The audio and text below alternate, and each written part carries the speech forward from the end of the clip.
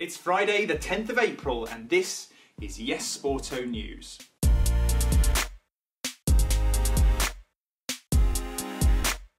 Hello and welcome to our weekly news roundup.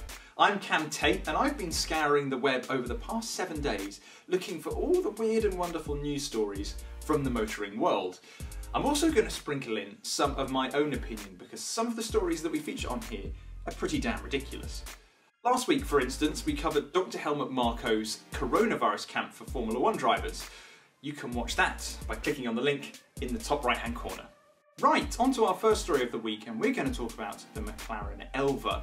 It's the limited edition speedster model that's inspired by the McLaren M1A racing car from the 1960s and costs 1.4 million pounds. Now, before you think I've gone mad, I do understand that the McLaren Elva was announced about six months ago, and that McLaren probably told its more affluent customers about the car far earlier than that. However, what's changed this week is the number of examples that they'll be making.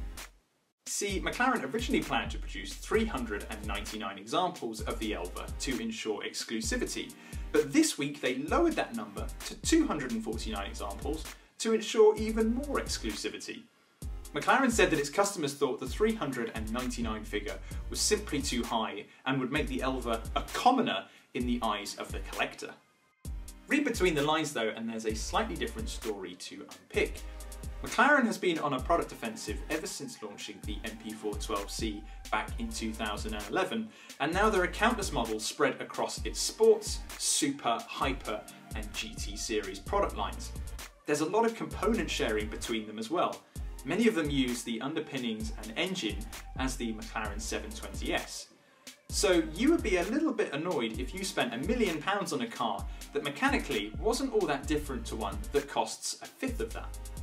We don't know how many pre-orders McLaren has taken for the Elva, but I highly doubt the company would turn down 150 customer deposits in the name of exclusivity. And with the multi-million pound speed Speedtail on the horizon, which by the way, uses the 4 litre V8 from the 720S, I wouldn't be surprised if McLaren's ultra-rich customers are starting to feel hypercar fatigue. But what do you think? Is McLaren releasing too many cars at once? Or is it a sign that they're actually taking the fight to their main rival, Ferrari? Either way, let me know what you think by leaving me a comment down below.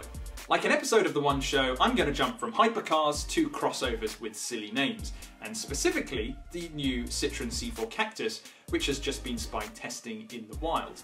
Now there's a reason why the new Cactus has grabbed our attention. You see, the crossover market is full, absolutely crammed full of cars that do an excellent job of being practical family runabouts, but they're all about as interesting as staring blankly into space, waiting for this damn isolation period to be over. And that's where the Citroen C4 Cactus comes in. It was the only interesting car in its segment of the market, and that's mainly because it was surrounded by these airbags that were designed to protect the bodywork, but also any pedestrians that wander out in front of you and see this massive bouncy castle hurtling towards them. While the spy shots don't reveal whether the funky grey crash pads will return on the Citroen C4 Cactus, we do know that it'll have a sporty roofline that looks a little bit like a Mercedes GLC Coupe and have a little spoiler integrated into the boot lid. Don't think Citroen's gone all sporty on us though. The new C4 Cactus will likely share its underpinnings with the Peugeot 2008 and will therefore probably carry over the Pug's 1.2 litre 3-cylinder petrol engine and the 1.5 litre 4-pot diesel motor, However, shots of the crossover taken earlier this year suggest the car will also get an electric option, as the development mule had some high voltage warning stickers stuck on the side of it. We've also heard that the Cactus name will be dropped and the car will simply be called the Citroen C4, which is a bit of a shame because the Cactus name kind of reflected the car's interesting personality. But at least it'll still stand out amongst its rivals thanks to that coupe-like roofline. Okay, on to the aftermarket world an area that's full of tasteless exhaust systems and gaudy body kits. But for every Mansory or Liberty Walk, there is a Ruf or an Alpina. Audi specialists ABT, a German tuning arm that thinks that RS models are too boring, falls in the latter category. The reason I'm bringing them up is because they've just turned their attention to the new RS6. The results pretty interesting. Called the RS6R, the new super estate, or are we in hyper estate territory here? Anyway, The estate's 4-litre twin-turbo V8 engine has been bumped up from a measly 592 mhm. brake horsepower and 800 newton meters of torque to a crazy 730 brake horsepower and 920 newton meters of torque. That's an insane amount of power. In fact, it's almost 100 brake horsepower more than Audi's V10 engined R8. Abt hasn't announced a revised 0 to 62 time just yet, but there's no doubt it'll eclipse the standard car's time of 3.6 seconds, and it could very well rival the R8's 0 to 62 dash of 2.9 seconds. That's hypercar levels of performance in a car so big you could probably live in it. While it's as big as a house, and about as heavy as one too. The RS6R received some visual tweaks to give it a racier look over the standard model. For example, the semi-dinner plate wheels look a bit like those from Audi's Formula E machine, and there are several carbon fibre canards dotted around the car for some DTM appeal. I'll admit, I'm not usually a fan of aftermarket companies making sports cars look more aggressive. You could say I'm more Alpina than AC Schnitzer. But I'm going to make an exception with the RS6R. I mean, what's not to love about a 730 brake horsepower family wagon? But I want to know what you think. Which would you have? The standard RS6 or would you pay a little bit more and get the RS6R? Let us know what you think and what others had to say by entering the Yes Auto poll in the top right hand corner. Right, I've got a question for you. What do you think the future of racing will look like? Because if you think about it, racing cars haven't evolved all that much in the past 100 years.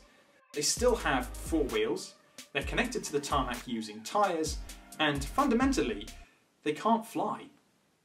But a change is on the horizon because an Australian company called Airspeeder is launching a new championship that promises to be the Formula One of flying cars. Now, granted, the company did announce its plans last year, but this week they secured extra funds to help their radical idea become a reality.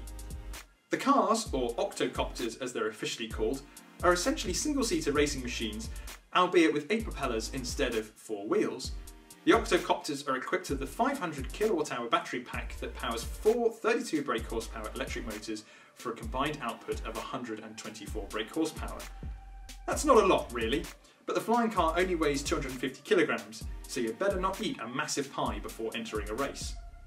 And yes, these will be driven by real people sat in the cockpit, not a team of drone enthusiasts all fighting over a controller back on terra firma.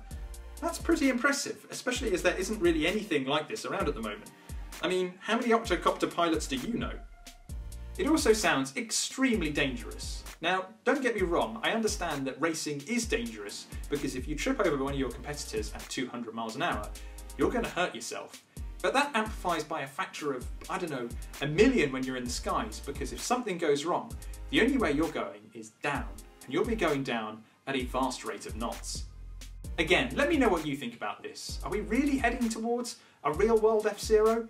Personally, I quite like the idea of it because it sounds far more interesting than Formula E. But is this something you could see yourself watching on a Sunday afternoon? Let me know in the comments down below. That just about wraps up this week's episode of Yes Auto News. Thank you so much for watching. I'll be back again next week, but in the meantime, you can check out all the latest car news and reviews at yesauto.com, or you can check us out on social media. Just type in Yes Auto UK on Facebook, Twitter, and Instagram. I'm Cam Tate, thank you so much for liking this video and subscribing to the channel. I'll see you again next week.